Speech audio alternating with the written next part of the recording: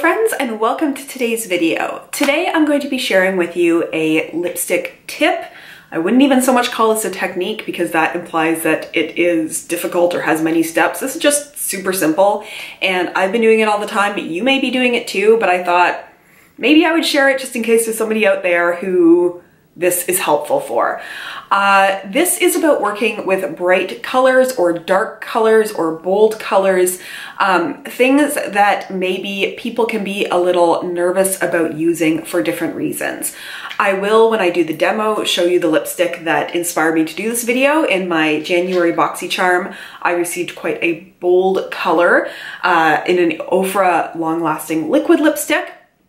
Uh, but, you know, it could be that you are subscribed to a subscription box like me and end up getting lots of bold, bright colors that, you know, you're a little hesitant to use, or you just want to play with more bright, bold colors, but again, you're a little hesitant about it. Why might you be hesitant about it? Well, if you're like me, there's a few reasons. Uh, maybe you're worried about you know, having your lipstick smudge if it's not one that dries down matte and then just look crazy with a bright color all outside the lip lines. Uh, it could be that you're not great with applying a bold color, so you know you can't get those really crisp lines or things just go kind of wrong. Uh, if you are a little bit more mature like me, perhaps like me, you have lines around your lips, which again make it hard to get that crisp line. Uh, or perhaps like me, your lips are uneven or there's a reason why you don't really want to accentuate the crisp line around the outside of your lips. Because if you watch beauty YouTube like I do, there are people who have gorgeous, you know, big smooth lips that are symmetrical and they can just go bow, bow, bow with like a bold color and it looks amazing.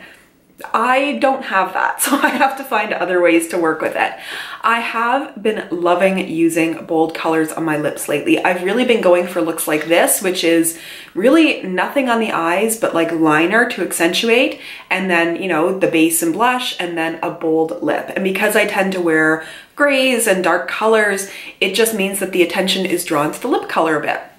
And just before I get into the lipstick tip, I'll also tell you what I did today because this might be a little bit of a tip for you as well. I've been really enjoying for my cheeks and my eyes lately is using a blush. This one is the Pixi Beach Rose, Rose Blush. Something that is not a pink or red undertone, but something that has more of a brown or even coral undertone. This one has quite a brown undertone to it. And I'm using that with a fluffy but tapered blush brush.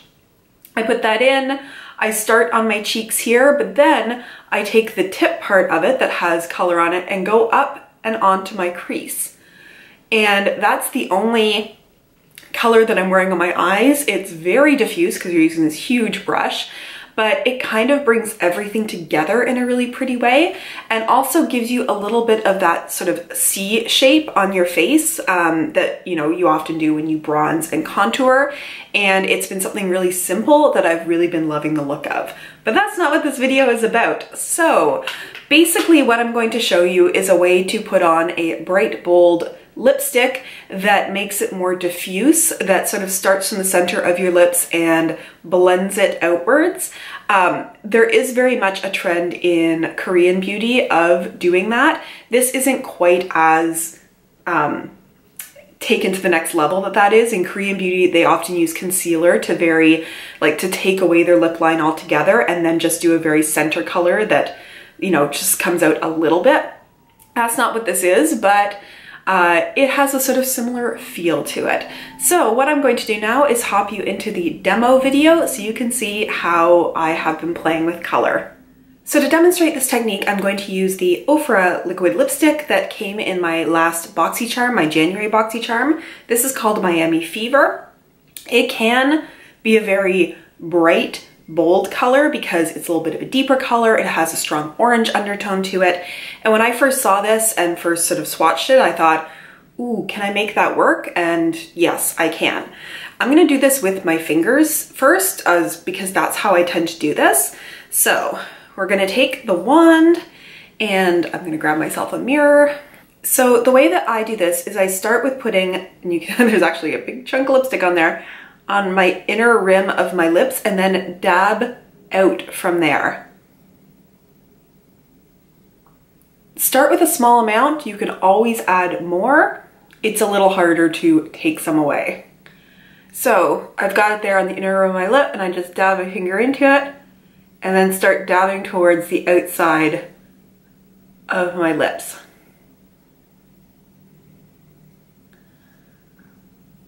You know, with my top lip there, it's now very diffuse. It's a little hard this time of year. My lips are always dry. And then I can, once I've dabbed it out a little bit, move it around a little. So right now the way I have it is it's very much of a fade towards the outside of my lips. The outside of my lips are not super well defined, which I don't mind because I have uneven lips. I have some wrinkles there. Having a crisp line always looks wrong on me because, not always, I shouldn't say that. It's either that I follow my lip line and my lips look uneven because my lips are naturally uneven, or I try to like sort of make up a lip line and then it just looks like I'm drawing outside the lines. Now, I can go in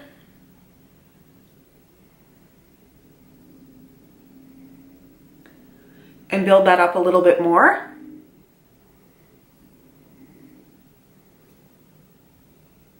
What you do have to be careful with with this technique is you're going to have lipstick on your finger. So be careful about hitting the rest of your face. And there we go. Uh, it is, sorry, it's a little bright in here. Um, I have the color saturation that I want, but there's still a softness to it and it's very wearable. And also because I've really smudged and pushed the color around, it's not a thick layer of color in there. I very much don't have to worry now about knocking my you know, lips with my hand or doing something and having it smear all over, which is also one of my worries when I'm using a bolder color of liquid lipstick.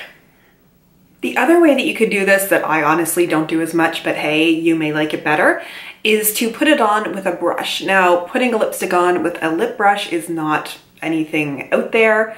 Um, you know, it does give you more control, but what I'm putting it on with is actually an eyeshadow brush. This right here is a Real Techniques uh, shading brush. So it's a little bit fluffy, but also dense and a little bit flatter. It's not like a big crease brush or blending brush but I'm going to use this to do the same thing and still get that sort of diffuse stained look rather than a harsh line. Harsh line sounds bad. Some people have beautiful lips. Some people want really defined, you know, outsides of their lipsticks and that's awesome. Sometimes I do that too. But if you want something that blends a little bit more, this could be the way to go. So I'm just going to pick up some of the color off of the brush and again, start with a little it's always easy to do more, it's hard to do less. And then, again, I start towards the inside so that if there's a little too much on the brush, you can sort of get it off there. And then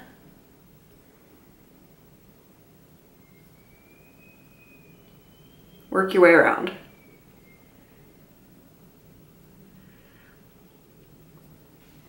This, even more so than using a finger, gives a very diffuse, blended, lip stain kind of look.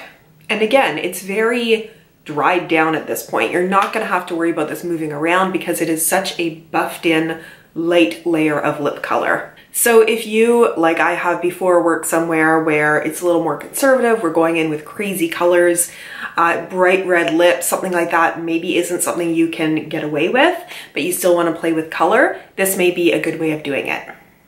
Let me know how you play with color. Let me know what you do to make lipsticks that maybe wouldn't be your first choice of color or don't really come out looking the way you expected them to look if you went and bought it. How do you get them to work? How do you play with them? What tricks do you have?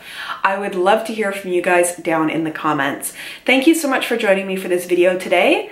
And if you are somebody who has watched all the way through to the outro of this video, don't know how many of you do, I recently hit 3,000 subscribers on my channel, which happened much faster than I expected it would. I'm not doing a huge giveaway, but I would like to send to some viewer who watched all the way through to the end of this video and would enjoy it, the Tarte Rainforest of the Sea Volume 3 palette. I only opened this for um, the unboxing of my January BoxyCharm. I've not swatched it, I didn't touch any of the eyeshadows or anything like that. Um, I'll link that video down below so you can see. Uh, if you are interested in receiving this, um, just leave a comment down below on the video. Uh, I will go through and see everybody who has commented and then I will choose somebody and I will respond to your comment. That's how you're gonna know if you won. Uh, I will keep this video open until midnight on February 2nd or this contest open until midnight on February 2nd. And then over the next day, I will do the draw and let the winner know that they won. So very tiny little giveaway, but I thought somebody can probably enjoy this palette. Uh, if you have any questions about it, ask them down below in the comments. Thank you so much for joining me today, and I look forward to seeing you in my next video. Bye.